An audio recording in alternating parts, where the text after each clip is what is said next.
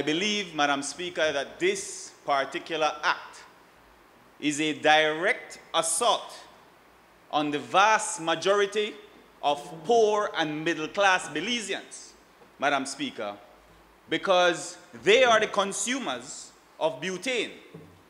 And even if it is only for a very temporary, short period of time, that the distributors in the city and in the country are providing this reprieve, this discount, this low price of butane.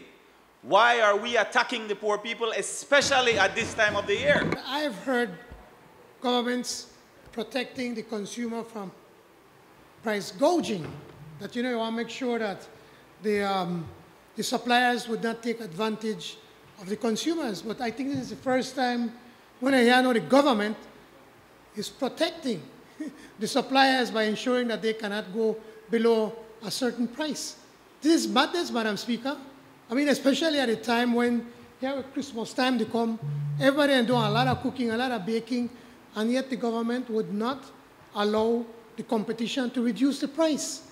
It really makes absolutely no sense, Madam Speaker. Maybe I'm missing something, but I would think that we would want to pass legislation to protect the majority of people, not a handful of people.